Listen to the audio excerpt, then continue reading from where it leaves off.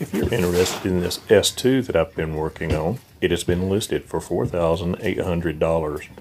If you would like to view the boat, you can see it in its glory. Just contact me at popsoldboats at gmail.com and I'll make arrangements to take you out and show it to you. Today we're going to be looking at an S2 7.3 meter. That's 23 feet 9 inches. This is a monohull.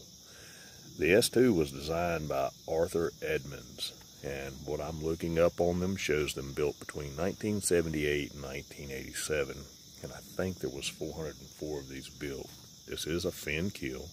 It's a fiberglass construction.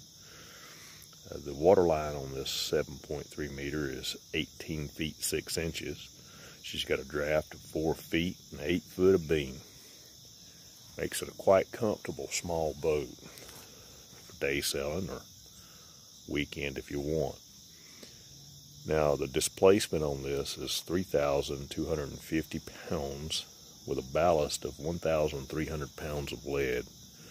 The mast that is removed from this right now is 31 feet 7 inches.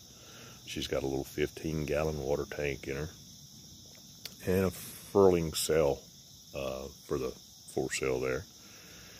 And all that's stored over at the yacht club.